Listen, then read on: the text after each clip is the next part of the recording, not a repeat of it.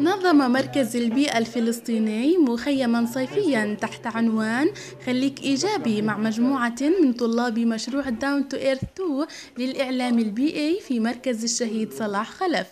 وتضمن المخيم مجموعة من النشاطات والفعاليات داخل المركز.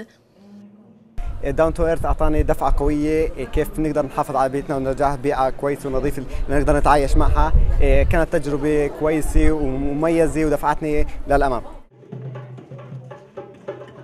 ومركز الشهيد صلاح خلف وبالأساس تم بناءه زمن الانتداب البريطاني كمركز عسكري ومن ثم تسلمه الأردنيون.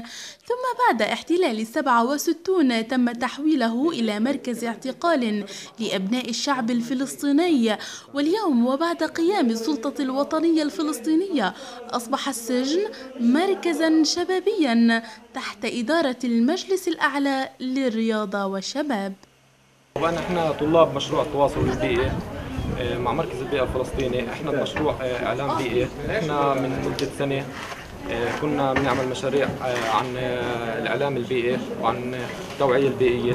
جينا اليوم على سجن الفارعة مشان نضع لمسة فنية على جدران هذا المكان اللي كان يوم من الأيام سجن للفلسطينيين وسط تلك الجدارية الماثلة في سجن الفارعة أراد طلاب الإعلام البيئي أن يضعوا بصمتهم من خلال رسم جداريات تحاكي المكان وتاريخه. طبعا بالنسبة لهاي الرسم استخدمنا فيها مواد بسيطة مثل ما أنتم شايفين الكروميكا قمنا بتكسيرها بعدين لزقناها كغصن. فأكيد بما إنه إحنا في زنازين فقمنا باستشعار هاي الرسمة من خلال الزنازين الموجودة رسمنا القضبان. القضبان اللي فيها طبعا زي ما إنتم شايفين القيد وهذا طبعا هو إطار الزنزانة. بما إنه إحنا شعب فلسطيني كلنا بنعرف شو يعني زنزانة.